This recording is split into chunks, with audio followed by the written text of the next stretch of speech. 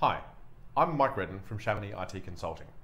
I'm here to talk today about the Power Platform, a suite of low-code and no-code software development tools built inside the M365 platform, which in itself is built inside the Microsoft Azure platform. Carl Sagan once said that if you wanted to bake an apple pie from scratch, the first thing you had to do was invent the universe. The Power Platform's quite the same.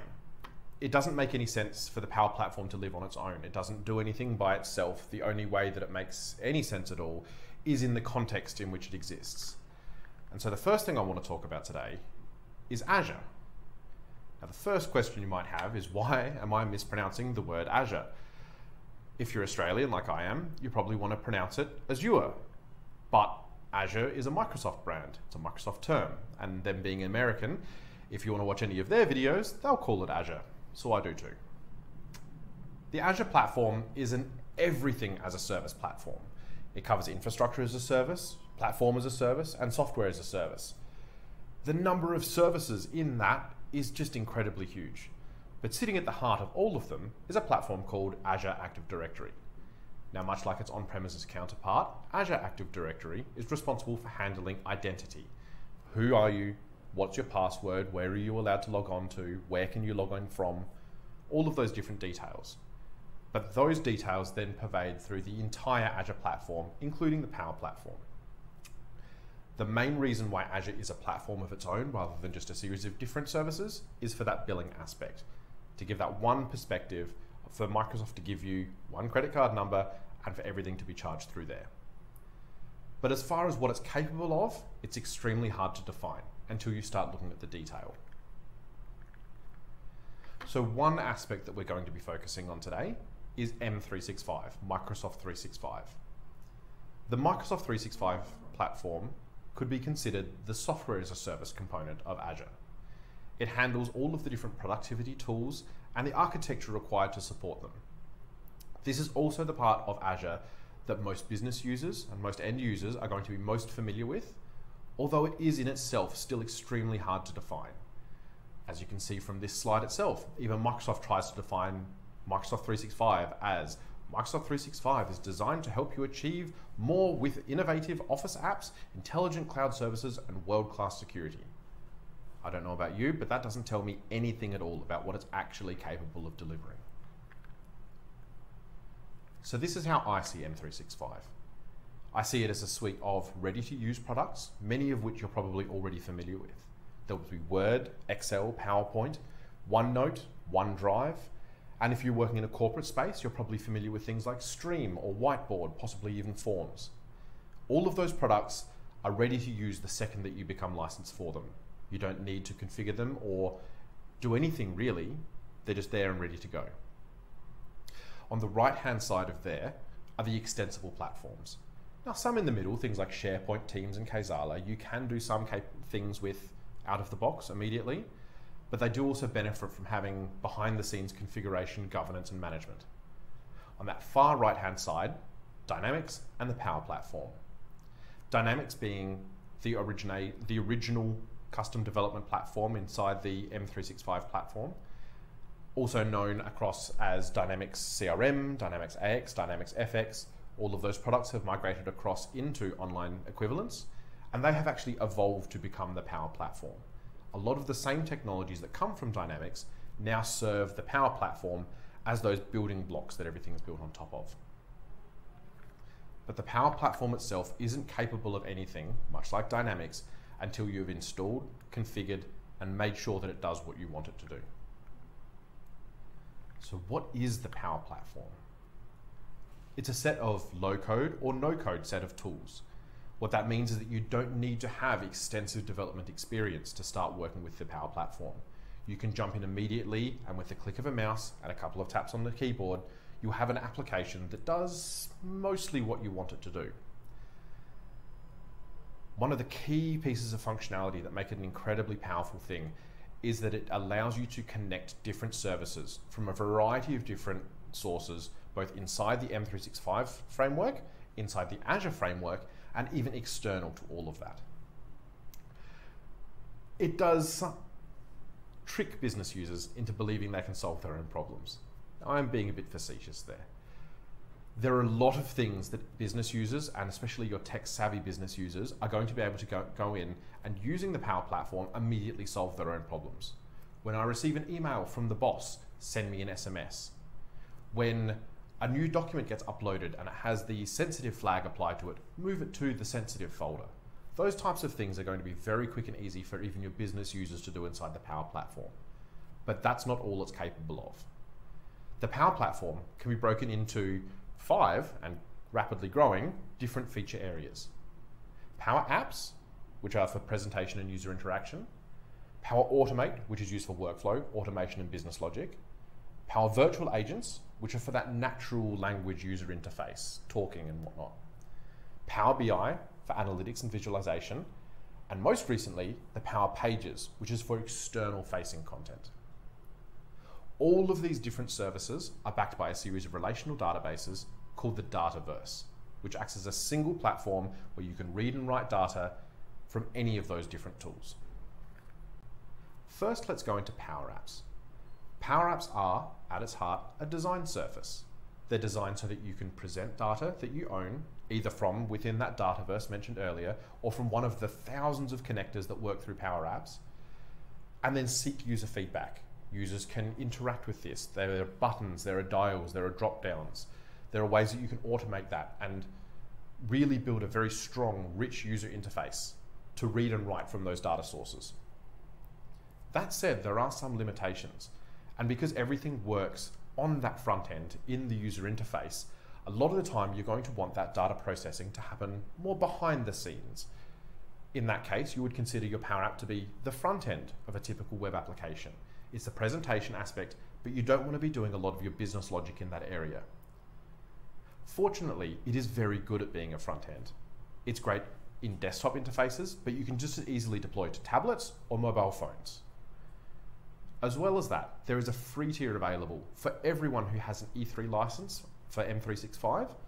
So you can jump in and immediately start using Power Apps.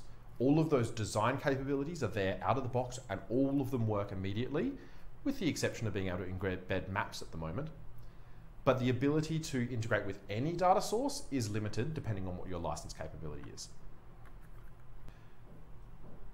Next in the suite is Power Automate, also known as Flows. If Power Apps were your front end, Power Automate would be your middle tier, your business logic, and your data integration services. It can be triggered from a series of different actions, whether that's a button inside a Power App or whether it's an email being received whether it's a new row being added to a SQL Server database. There are thousands and thousands of connectors that work with Power Automate, most of which have some form of trigger. In fact, you can even go as sophisticated as having a HTTP trigger, so any other application can invoke a Power Automate flow just from a simple web request. But the real benefit comes from the fact that there are so many connectors and you can pass data between them, and there are less restrictions than there are around the Power Apps. Once again, there is a free tier available to everyone on an E3 license. But to access some of the premium connectors, again, the HTTP connector, some of your SQL Server databases, or some of the larger enterprise applications like SAP, will all require some level of licensing. Next in the suite is Power BI. If Power Apps are your front end and Power Automate is your middle tier, Power BI is your reporting suite that sits over the top. It really takes all of that business logic that has happened within that application that you've already developed and allows you to provide analytics and visualization across all of that data. It works really, really well with Power Automate to allow you to manipulate data, configure it, change it, make it the data you want it to be, and then present it in a way that is uh, exciting and innovative. Quite often, Power BI is considered the end result of an application built within the Power Platform once you've collected all the data and you've processed it in the way you want it to be processed, being able to deliver a report to an executive team or to be able to do predictive analytics over trend lines. All of that is possible within Power BI. On top of that, Power BI can actually be embedded back within a Power App.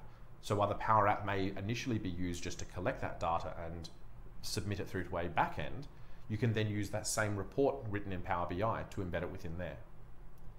Power BI reports can also be embedded within a variety of other applications, depending on what you need it to do. Once again, Power BI has a free tier. However, if you'd really get into intense data processing, or once again, if you want to look at some of those more complex connectors, there will be license implications involved.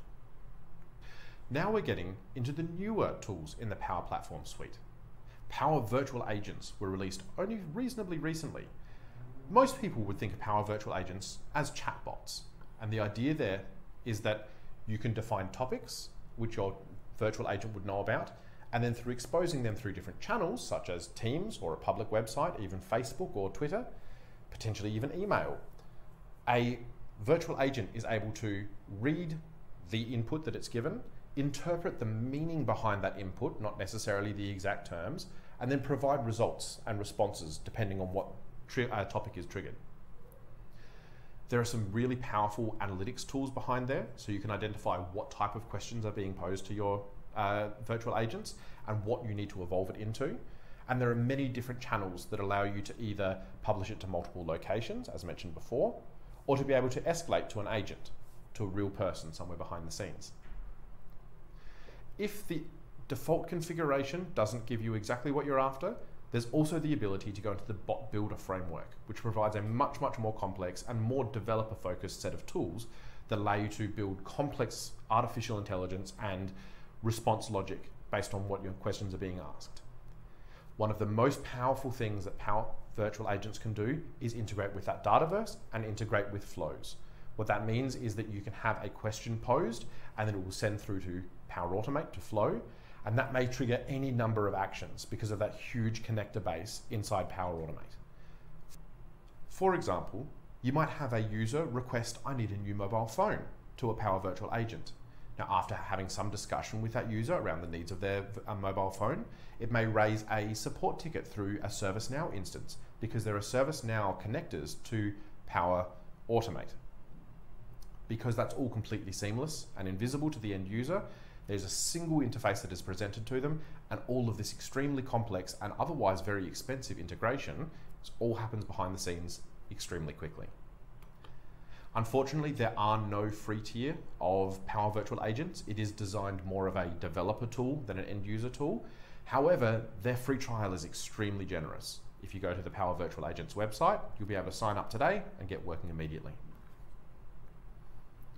The latest introduction to the Power Platform, so new even that I haven't got a high resolution icon for it, are Power Pages.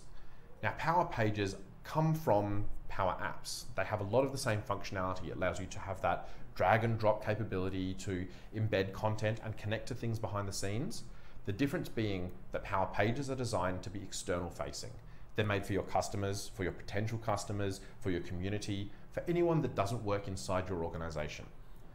What that usually means is there needs to be a lot more polish applied to Power Pages, and that is evident through the designer interface. It still has all of the same capabilities behind the scenes, but you do need to be a little bit more careful with it. Once again, similar to Power Virtual Agents, there is unfortunately no free tier of Power Pages, but you are able to design and test things without publishing them um, publicly.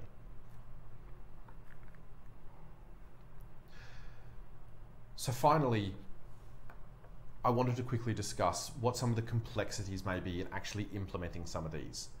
So all of these tools, as I've explained today, are fantastic tools that are able to bring a lot of functionality that may have otherwise taken weeks or months of development time right to uh, design time. Um, drag and drop interfaces allow you to immediately connect with your data sources and send data to and from locations that would have otherwise been incredibly difficult. But there are two really key things that you need to be very careful of when you are going through this implementation. One is you want to make sure that you've got the right development team behind you. Uh, I'm sure anyone can drag and drop it, but you still need to have a developer mindset if you want to do complex looping, if you want to do complex integrations, if you want to make sure that your data doesn't end up incredibly dirty because you've got business users submitting very dirty data through to your standard interfaces. On top of that, because these products are rapid development products, there's quite often not the ability to have a dedicated team of resources able to go, we're working on the Power Platform 24 7. You may find that around um, end of financial year, you have a sudden spike in requirements because all of a sudden your finance teams are really demanding new capabilities. But then as you're going through budget planning schedules, everything dies off quickly. So the ability to upscale and downscale those resources can be quite difficult. As with the difficulty when upscaling and downscaling resources, you want to be able to provide consistency supportability, auditability, and security across all of your platforms. But if you've got a different developer working on it every single time and they're not working off a set of consistent uh, tools and patterns and practices, you're never going to achieve that. And you're going to end up with a scenario in which you've got a thousand different apps developed in a thousand different methods, and all of those are at some point going to land back on your IT department for support, which is where we transition across to the problem of governance by default in the Power Platform, everyone can do everything other than those that are, require a premium license. But what that means is that you can have a Power App or a Power Automate, potentially even a virtual agent that starts moving content around from one location to another, that um, takes all of the tweets published by the CEO and posts them to the company message board. It's an incredibly powerful set of tools, but it can be a dangerous set of tools because of those exact reasons. So the knee-jerk reaction is quite often to just turn off everything, make it so that nobody can do anything. But then you're really stifling that innovation within your organization. As much as it is useful to have a developer set of knowledge behind what you're doing and how you're doing it, you don't want to stop those people that have got that mindset that are capable of delivering this from doing so inside your organization. It can be extremely difficult to know what you have and where it's located. If it's been a few years since the Power Platform was implemented at your organization and you haven't put, applied any governance over the top, there's a very high chance that there are thousands of apps and flows floating around being used by who knows. Some of those may be business critical, many of those are probably just tests. The out of the box tooling provided by Microsoft is extremely limited in what it presents to you and what it's capable of giving you.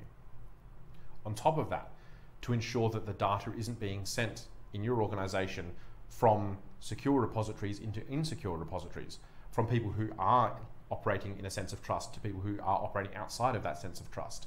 It can be extremely difficult to identify where the right behavior is happening and where the wrong behavior is happening. On top of that, the default environment configuration and the default software development lifecycle is extremely difficult. I've got an asterisk in there because you want to make sure, as with the avoiding knee-jerk reaction of nobody can do anything, you only want to apply software development life cycles where it actually makes sense.